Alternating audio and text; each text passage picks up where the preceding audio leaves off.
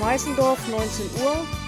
Lichter aus für meine Weidetiere und ein angstfreies Landleben in der Hoffnung, dass diese Lichter nicht dauerhaft ausgehen.